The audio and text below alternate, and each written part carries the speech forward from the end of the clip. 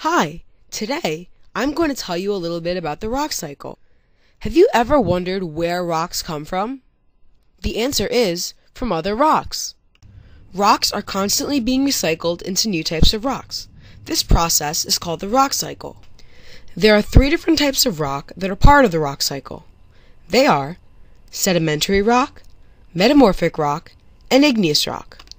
Let's start with sedimentary rocks and work our way through the rock cycle from there. Sedimentary rocks are made up of bits of broken rock, which are called sediment.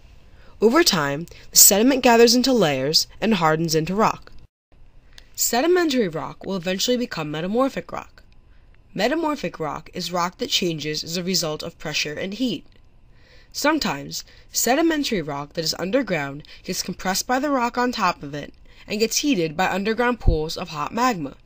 This causes it to become metamorphic rock. Metamorphic rocks slowly move closer to the center of the earth as more layers of rock build up on top of them.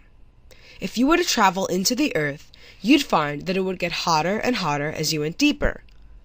Close to the center of the earth, it gets so hot that rock actually melts. This molten rock is called magma. Eventually, the magma will cool and solidify, forming igneous rock. Finally, the igneous rock will break down into sediment, completing the rock cycle.